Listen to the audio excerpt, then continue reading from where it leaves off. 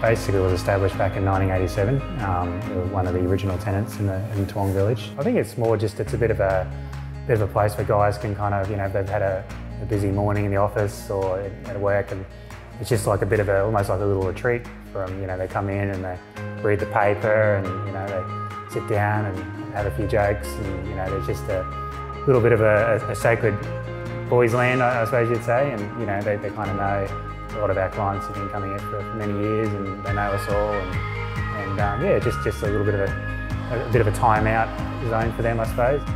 It's good just being able to grunt and point at hair and, and knowing what I want. Yeah, you know the same time, the same way as it's always been done. And, um, and you see the old guys coming in as well. Uh, they really use it, I think, as a, a social outlet. Some of those guys seem to turn up every week. Nick will probably tell you more than me. But yeah, uh, look, it's, it's great. Um, place to come, place you know where the people are, and the people know you know who you are, and um, yeah, it's just a you know nice half an hour in a chair, really. There we go, mate. Just have a good day, and right, see you next time. You All right, cheers. Thanks, mate. We basically cater for, for anyone, um, from, from six-month-old babies up to, to pensioners, um, anyone and everyone in between.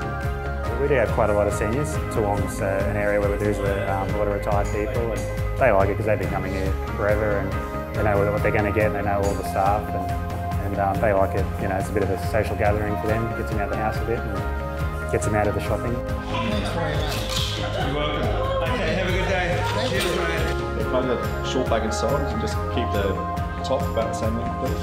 I think it's one of those jobs you, you have to, you know, you've got to be, because you, you're with people all day, every day, you know, it's like coming to work and just, just get to chat to people, you know, so, so it's, uh, a, it's very social job and yeah, I think, you know, if you didn't enjoy it, you wouldn't, you wouldn't do it, so yeah, no, it's, it's a great job.